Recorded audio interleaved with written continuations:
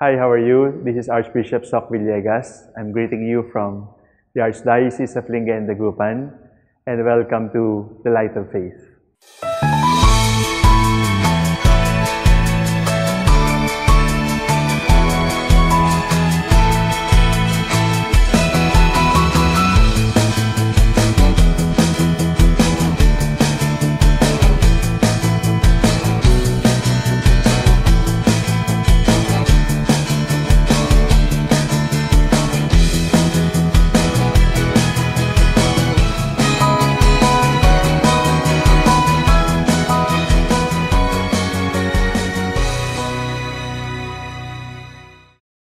The question is from Mark, and he asks us Why do Catholics make the sign of the cross? The sign of the cross is the symbol of God's love for us. Jesus, the only begotten Son of God, died on the cross, and that was the height of His love for us. There is no greater love than to die for your loved one. And Jesus did that. So when we Catholics make a sign of the cross, we are actually saying, we believe in God's love for us. We believe that God loves me, and nothing will make God change His mind in loving me. The love of God for me is unconditional. And because God loves me, I have been changed. I am not the same anymore.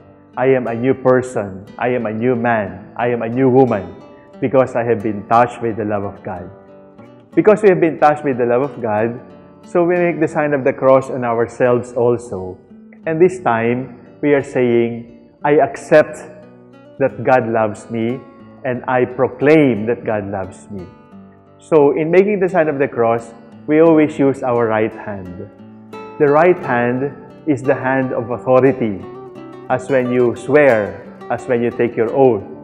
The right hand is also the right hand of power, like Jesus sits at the right hand of the Father. So we say, this person is the right hand man of the person in authority. We say this person has power. So we use our right hand to signify two things, power and authority. So we are staking all our powers, we are staking all our authority, we are staking our honor as we make the sign of the cross. We put the hand on our forehead and say, In the name of the Father. Why the forehead? Because inside the forehead is our brain. And brain is the organ for thinking. So, when we make a sign of the cross and put our hands on our forehead, we are actually saying, My mind belongs to God. I want to know God more. I want to know God more in the scriptures. I want to know God more in the teachings of the church. I want to know God more in prayer. That is why it is very important that we Catholics read the Catechism, read the Scriptures, attend seminars, because these are ways for us to get to know God more. Because, as philosophers say, you cannot love what you do not know. So if you want to love God, you have to know Him first. You have to meet Him. And then our hand goes down to our chest because inside our chest is our heart and the heart is a symbol of love. So here we are actually saying, my love belongs to God. Here we say, my mind belongs to God, my love belongs to God. You cannot love anyone equal to God. You should not love anything equal to God. When we put our hands on our chest, we are actually saying, I love God. Should we stop loving one another? No. We should love one another. We should love our life here on earth because our life here on earth is a blessing from God. But do not love anyone or anything equal to God or even above God.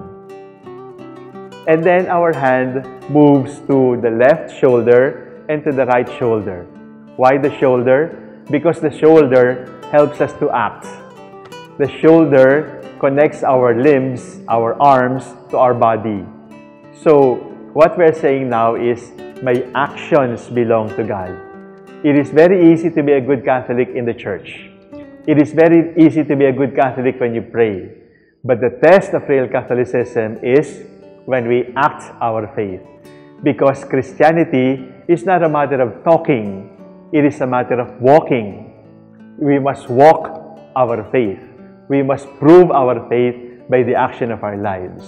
So, we are saying, my mind belongs to God, my love belongs to God, my actions belong to God. And then, finally, our hands are put together and we say, Amen. Amen means I adore. Amen means I accept. Amen means I announce. Amen means I proclaim. Amen means I will die for this. So when we make a sign of the cross, it is actually a sign of love. We are accepting the love that God showed us when He allowed His only begotten Son to die on the cross and to say, We are loved.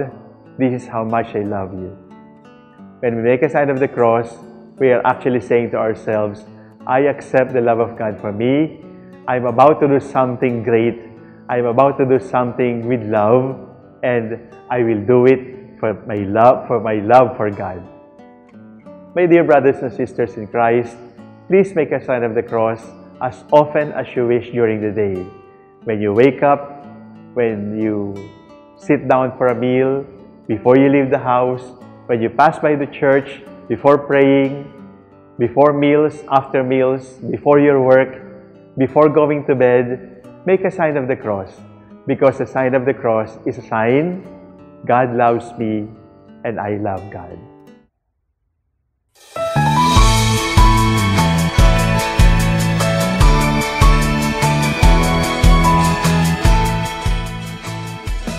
Thank you for listening to The Light of Faith. I invite you to send in your questions, your inquiries, your faith sharing, and we would be glad to broadcast them here and answer your questions here. Thank you very much.